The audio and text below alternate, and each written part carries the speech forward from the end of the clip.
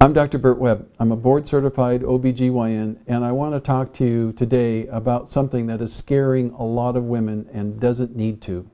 And that is abnormal pap smears and human papillomavirus. So a woman goes to her primary care doctor or gynecologist, internist and gets a pap smear and the results come back abnormal.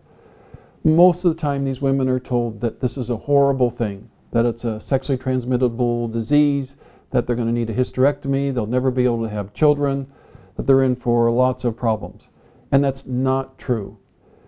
So my 34 years of practicing and doing pap smears, I've really developed an expertise in human papillomavirus and evaluating a cervix that's not perfectly normal, doing colposcopies. This is something that I love to do and I do all the time.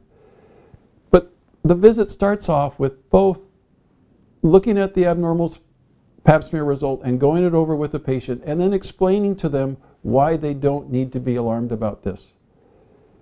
Most of the time it's very slightly off and it's something that will correct itself. If there is a problem, we'll discover it that day and we can do that with colposcopy and biopsies and it's not the painful way that it was in the past, at least the way that I do it. It's not that painful.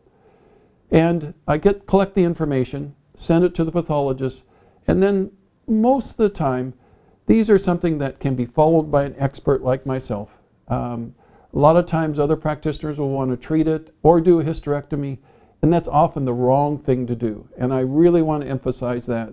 And that's the reason that doing this for so many years and really liking what I do as far as evaluating the cervix, being an expert in human papillomavirus, we can be more conservative, starting from just talking with a patient, bringing them back down so that they're not so worried, doing the evaluation, and then showing them uh, both right then and then with the results that everything's going to be okay, that they're not going to need a hysterectomy, they're going to be able to have children.